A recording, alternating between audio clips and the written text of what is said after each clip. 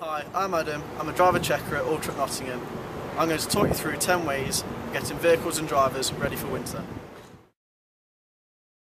Step 1. Make sure washer fluid is present and topped up. This contains an additive which stops the water from freezing.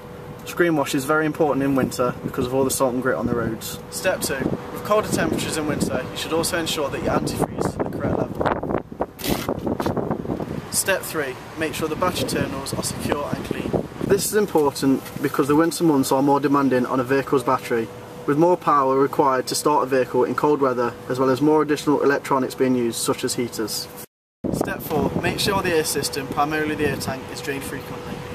This can help to remove condensation from the air system, which can help to prevent freezing and the problems it can cause. Step 5. Make sure the windscreen is free of cracks.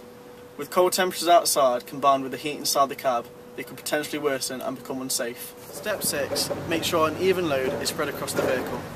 This is important all times of year, but can help avoid slips and slides on wintry roads. Step 7. Drivers should think about carrying emergency kit, such as sleeping equipment, warm clothes, food and drink. Winter can cause some unexpected stoppages and delays, so it's important to be prepared. Step 8. Drivers should include in their daily checks that the night heater is working properly before setting out on their journey. Step 9. Ensure all tyres have the correct tread depth and tyre pressure. This is important all year round and can help to prevent slips and slides on wintry roads. Step 10. Make sure your vehicles are working their best with regular servicing, which is available at our depots at Nottingham, Leicester and Sleaford.